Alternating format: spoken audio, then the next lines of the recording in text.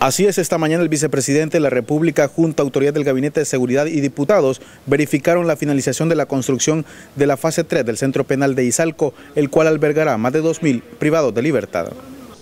Aquí vamos a tener todos los sistemas que, que el sistema penitenciario salvadoreño va a tener en los próximos cinco años. Todos los nuevos sistemas, nuevos protocolos, nuevos mecanismos de vigilancia, nuevos mecanismos de control. Aquí vamos a tener sistemas de adaptación Aquí vamos a tener sistemas de, reeducación.